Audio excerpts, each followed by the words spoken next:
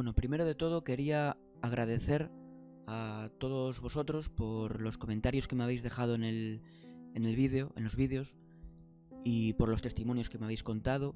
Algunos son muy bonitos, otros son bastante duros, pero me ha hecho mucha ilusión y la verdad es que eso me motiva para seguir grabando vídeos y seguir informando sobre todo esto que está ocurriendo, ¿vale?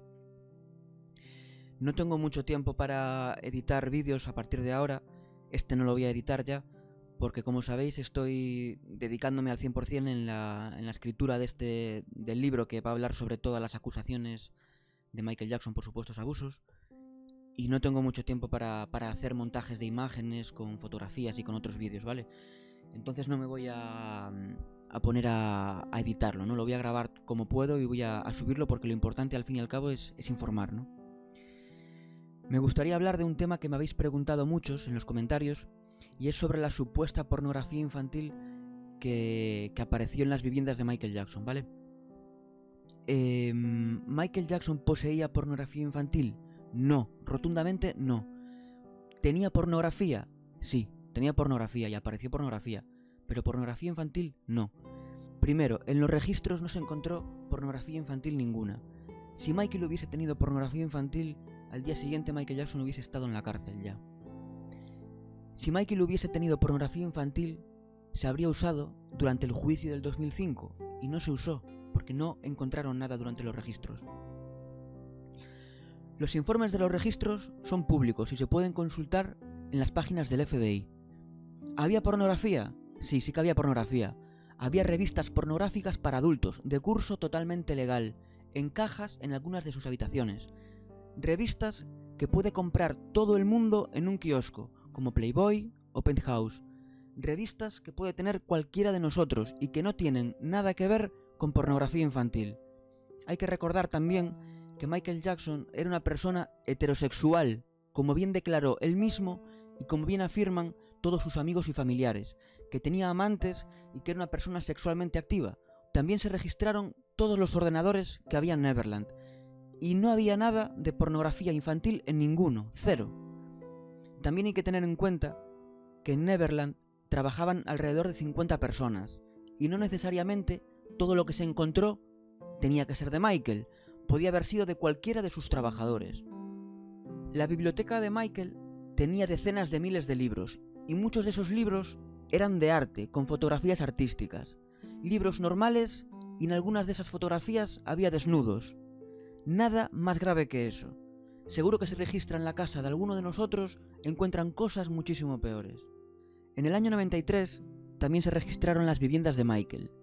Había más de 10.000 libros, también hay que recordar que Michael también llegó a comprar en alguna ocasión una librería entera. Y en esos registros se encontraron dos libros que contenían desnudos de niños. Se llamaban Boys Will Be Boys y The Boy. Pero es que uno de ellos era el libro de fotografías de una película que se llamaba La Isla de los Mosquitos o algo así. Y salen niños corriendo por una playa. Libros también de curso legal que se pueden comprar en Amazon. Cualquiera de nosotros puede comprarlos. Son libros normales habían sido además el regalo de una fan. De hecho, en uno de ellos viene escrito From Your Fan Ronda.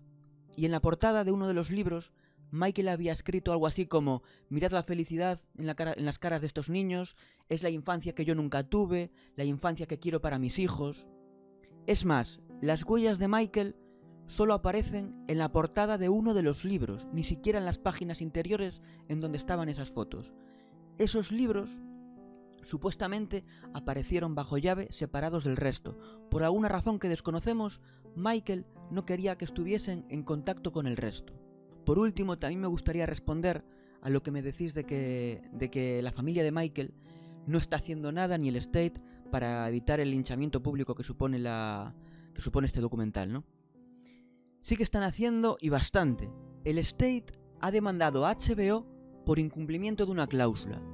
Como sabéis, en los 90 se emitió el concierto mítico de Michael de la gira Dangerous, el concierto de Bucarest, se emitió en HBO, y en el acuerdo para emitir ese concierto, HBO firmó una cláusula por la que no podía perjudicar la imagen de Michael Jackson a partir de ese momento. Como sabéis, Living Neverland fue producida por HBO, y la imagen que dan de Michael Jackson es horrible. Así que demandaron a HBO antes de que se estrenase el documental, pero básicamente a HBO le dio exactamente igual y lo estrenó igualmente. El State ha solicitado que el arbitraje del proceso de esta demanda sea público, que salga todo a la luz, todo lo que hay debajo de este documental, y quiere adelantarlo todo lo posible, pero HBO no quiere y está haciendo todo lo posible para impedirlo y retrasarlo. No quiere que sea público y están intentando retrasarlo para el verano.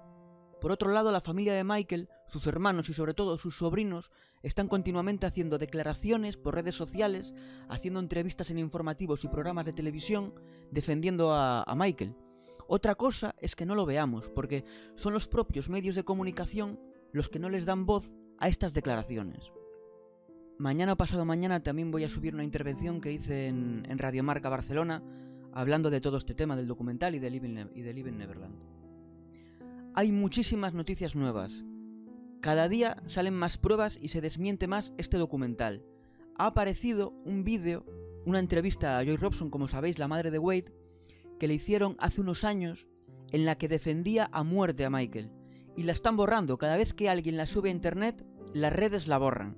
También la sobrina de Michael y exnovia de Wade ha dicho que cuando Michael murió, la madre de Wade la llamó por teléfono para decirle que los hijos de Michael deberían estar con ella y no con su abuela, no con Catherine, que es la que tenía la custodia. Y luego hay algo que me da mucho mal rollo, y es un mensaje que ha subido este, este productor de cine estadounidense. Dice así. A mi compañero, la leyenda de Bay Area Street, Ron Newt, que era un, promotor musical bastante conocido, le ofrecieron 200 mil dólares para mentir y decir que Michael Jackson tocó a sus hijos. Ron intentaba contactarme desde el sábado porque venía a Los Ángeles y quería compartir más información sobre el caso de Michael Jackson. Ron murió misteriosamente ayer. Esto lo subió el jueves. Se dice que la información que tenía era referente a Oprah y a todo ese círculo. Puede que haya sido casualidad o no, eso ya lo dejo a vuestra elección. Me despido aquí, seguiremos estos días informando sobre este asunto. Un abrazo.